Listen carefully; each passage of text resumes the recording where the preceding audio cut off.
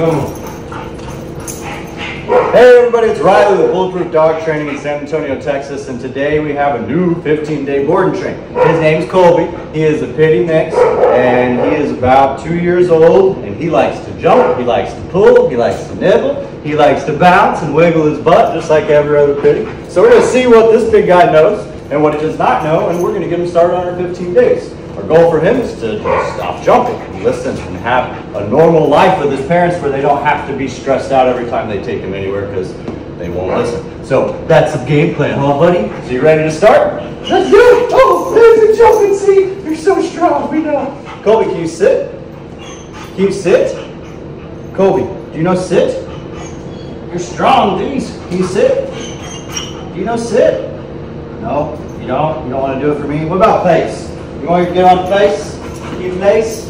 Oh, come here. I know. Go. Come on. Just yes. All right. No place then, huh? What about heel?